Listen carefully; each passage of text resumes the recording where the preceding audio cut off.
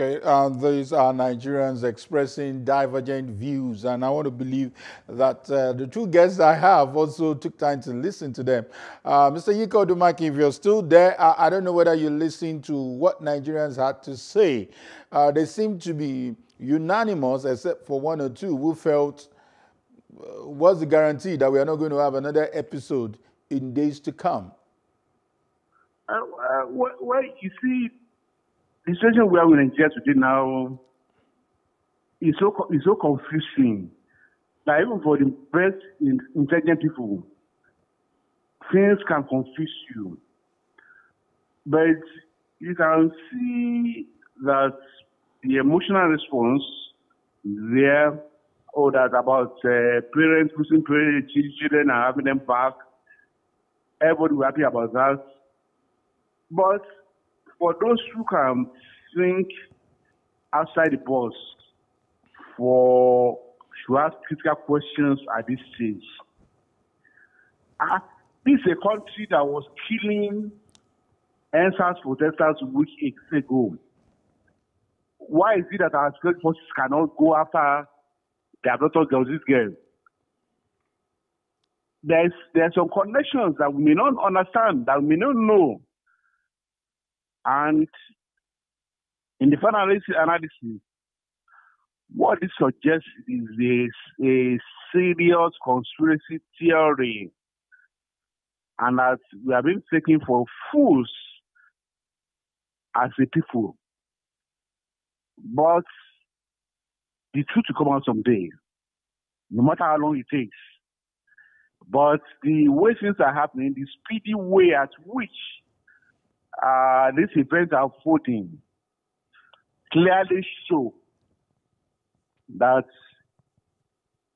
some there have been a lot of dramas and packed into this, uh, and that we are deeply emotional people. Oh, we'll be happy. Oh, the boys are back and the rest.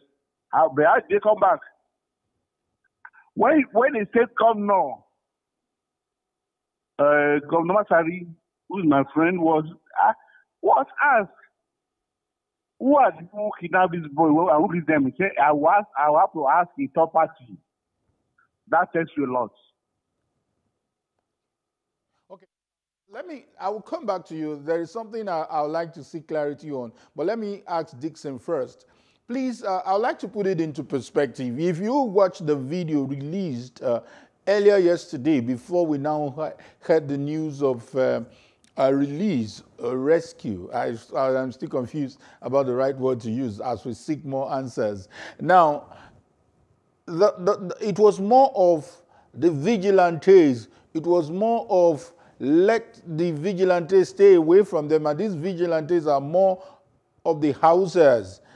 And the Miyetti Allah has to do with the Fulani. So we, we are looking at a situation where it was more of the prevalent situation in Northwest and not necessarily the Boko Haram uh, uh, uh, fight in the Northeast. So don't you think Miyetti has a bigger stake to come to this rescue? Because I remember a lot of Nigerians are saying, whichever way, however this rescue will be done, the government should explore all avenues. Isn't that the case?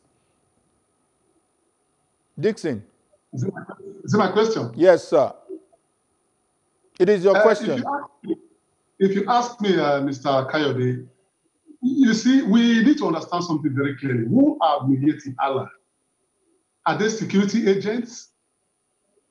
Are they constitutionally recognized as a security agent? Are they private security guards?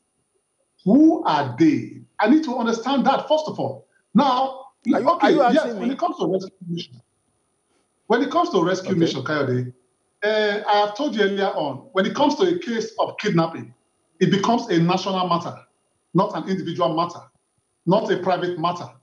When it comes to security issues, it becomes a national issue. And when it's a national issue, it has to deal with the national forces. That is how it is done all over the world.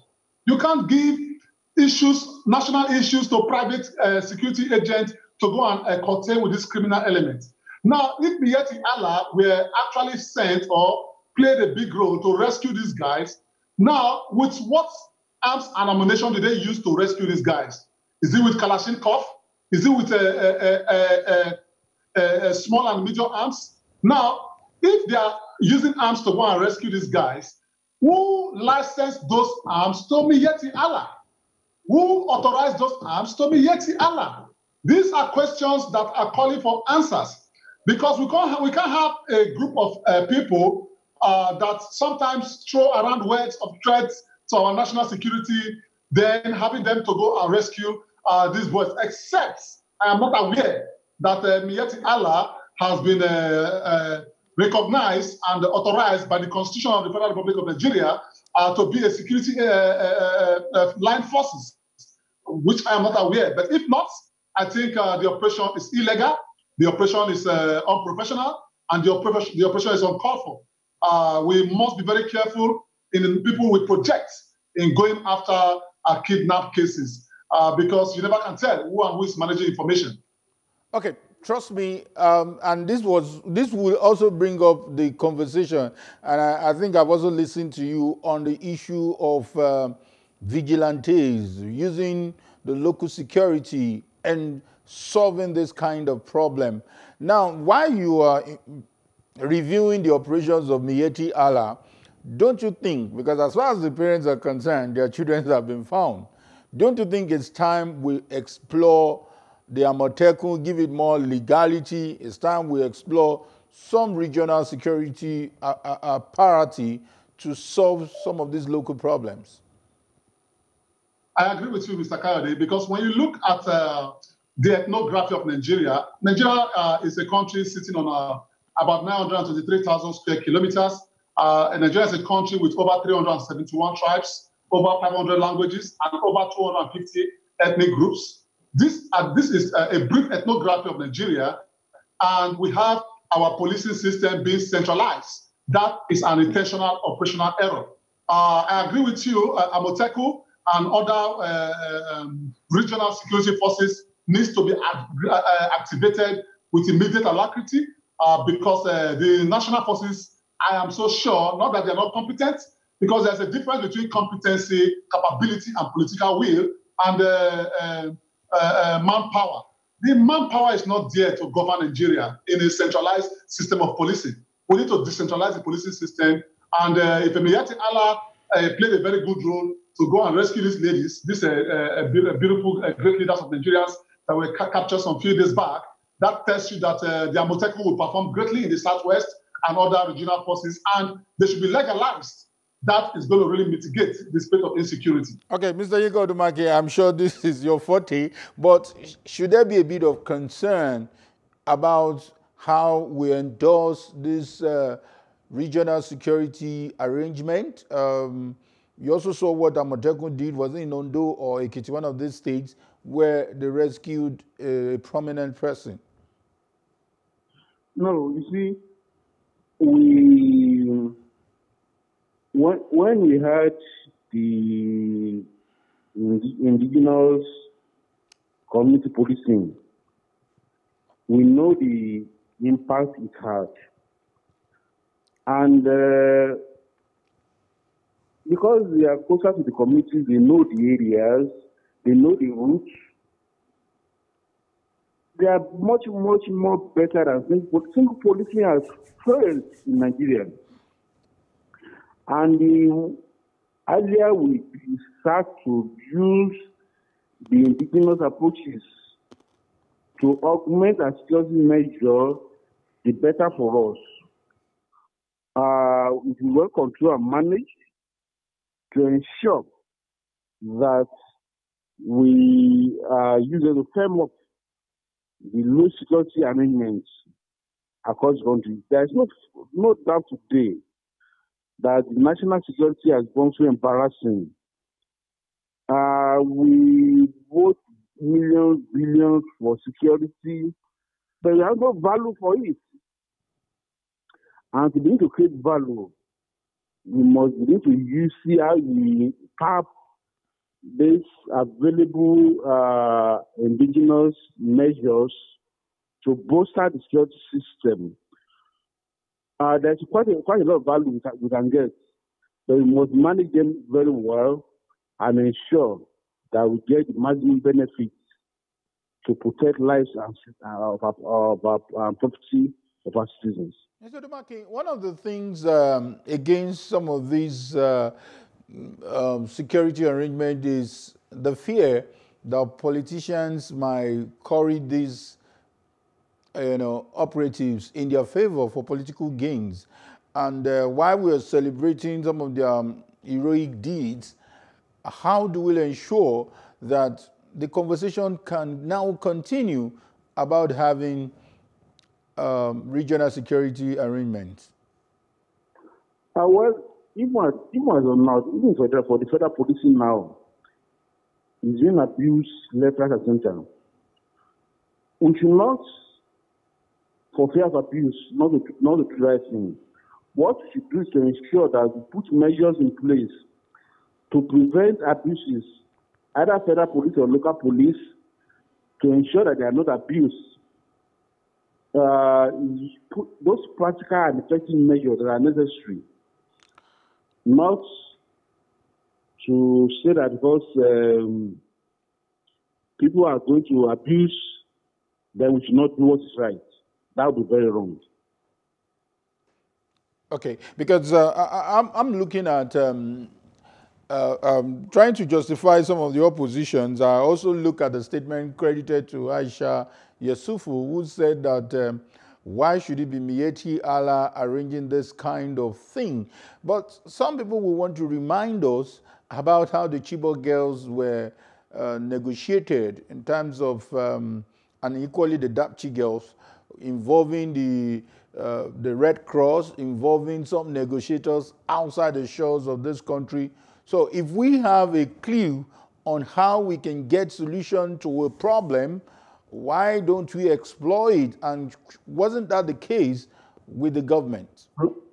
No, in, in, the case of, uh, like I told you earlier, Nikiala has been, has been recognized as the fourth fourth terror group in Nigeria. So using a terror group is what we are talking about. It's not about, it's not about using indigenous securities that we are against, but a terror group like Miyetti Allah, incorporating them the church system by the government is warning, and it should give us warning. Yeah. That's that's. Uh, uh, I know I know that statement you you you insisted on. It's out there, but Nigerian government has not declared them a terror group. So, but Dixon, we're looking at solutions. I just gave an example of different way of negotiating. You remember the early days of Boko Haram. Um, there was some kind of negotiation to have them reintegrated, to have them drop their weapons, you also remember the Niger Delta militants, how they even engaged their leaders. So as far as people are concerned, they are interested in solutions. So what's the lesson here for us in getting people who are abducted out? Uh, the lesson here is for the federal government to be very careful in negotiation. Negotiation uh, is a systematic uh, game when it comes to national security. Here in Nigeria, at any given time, we want to negotiate. Uh, when uh, somebody slaps uh, the governor's daughter, uh, we want to negotiate. When kidnappers kidnap some group of people, you want to negotiate. Negotiation is systematic. You don't negotiate anything that has that puts human life at risk. If some group of criminal elements are out there to kill Nigerians, you eliminate that threat. Do not negotiate it. Don't give room for negotiation. When you give room for negotiation, you are going to create an avenue for future reoccurrences. Now, you make mention of the Niger Delta. Those guys were fighting for uh, a cause uh, within their region that they were being uh, uh, uh maltreated or uh, cheated from their natural resources. Okay, the federal government came in and negotiated with those guys. You're talking about terrorism, Boko Haram, killing of Nigerians because of their Islamic ideology. What went wrong? Federal government still went ahead, negotiated with these guys. Now we have another group of uh, guys in the northwest, and uh, you are calling them bandits. How will you call people bandits that captures Nigerians, that inflict injuries on people, that kill people, you call them bandits. Terrorism is terrorism. If you put the life of any person at risk, or you put someone into the state of fear, you are a terror. And if you are a terror, you are a terrorist. And if you are a terrorist, you Dixon. are practicing terrorism. Dixon. So the bandits in the Northwest, they are not bandits. They are terrorists. Dixon, Dixon, I, I, I'm feeling you. I totally feel you. But just for record and for the purpose of the people who are listening, when I know there are lesser evils, and I totally agree with you, but should anybody carry weapons that is not licensed, whether it's from Niger Delta, are we not talking about people who also kidnap people? Shouldn't we call evil evil irrespective of uh, the nature it comes? Evil is evil, whatever the case may be, uh, because you cannot use illegality to fight legality. Even when you watch uh, uh the incident in uh, uh, Niger Delta in the early days, I'm from Niger Delta, most of those guys, they, they pick up arms, which is illegality. And the federal government went into negotiation. And the reason why the federal government went into negotiation was to bring peace back to that uh, society. Now, going to the Northeast, federal government also went into negotiation. Now, these were the fundamental errors of leadership. And that is why our leaders need to come together as one to ensure that they lead us with truthfulness, they lead us with all honesty. Last week, I think uh, the House of Assembly invited uh, the president. I knew the president would not go. They should all invite themselves. Every one of them are guilty. In the last general election, I saw how they used Nigerians to go and be stealing ballot boxes. I saw how they used Nigerians to fight Nigerians. In the last EndSARS, we saw how some group of criminal elements were being uh, used to go and uh, mess up some peaceful protests. These are people that are watching the state. When you use criminal elements to carry out your uh, your objective, definitely those criminal elements will come back and rise against I totally agree. That is the problem Thank you so much. I, I, think your point is well driven home, but let me quickly get the last comment from Yinka Odumakin. Now, our fear is how do we avert this kind of situation where people will just carry weapons and hold the state to ransom? Why would I agree that there is failure of leadership across party lines? How do we ensure safety for innocent Nigerians who should have their freedom any time of the day. You go to market, please. Well, clearly, I think that we need a leadership that is focused on the protection of life and property of Nigerian citizens. Uh, like I said, what we have in Nigeria today is a big embarrassment. Uh, because, and we have seen that the little premium that has been placed on the lives of Nigerians, the present government has given the impression that even it places more premium on the life of cows than the life of human beings. Hmm. The human beings should be the center of our activity, government activities. Everything should be run around our human beings. We should give place high premium on their lives.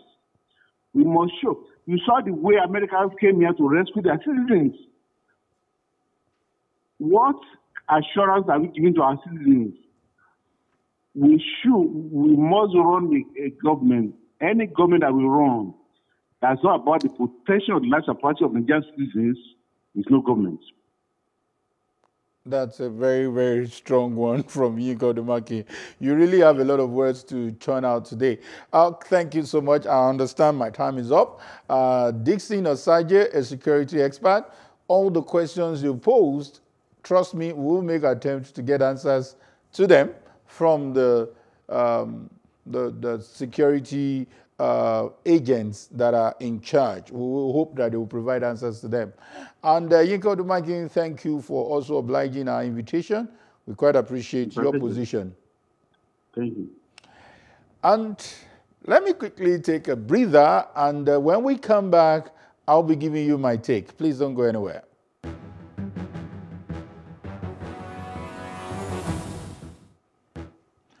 Quite a complex case, I must admit. Just like some of the respondents on Lagos roads, what matters to the parents is the safe return of the boys. For the critics, why was there no red flag when the students were in custody of the kidnappers? What was uniform in their agitation is the seeming slow response in the rescue mission. So I ask, why don't we give credit to a result, especially with video and pictures evidence? evidence? But if the critics insist it was stage managed and the government is culpable, it will not only be disappointing, it will be a symptom of a complete failed system. So I therefore advise that we shouldn't play politics with this rescue or release mission. However, our bigger worry is how do we avoid a reoccurrence in the future? I think that's a bigger issue we should stay on. And that's how far we can go on today's edition of Plus Politics. Plus Politics returns on Monday when we'll come up with another interesting package. Please stay safe. And it's time to say bye for now. I am Kayode Ladende.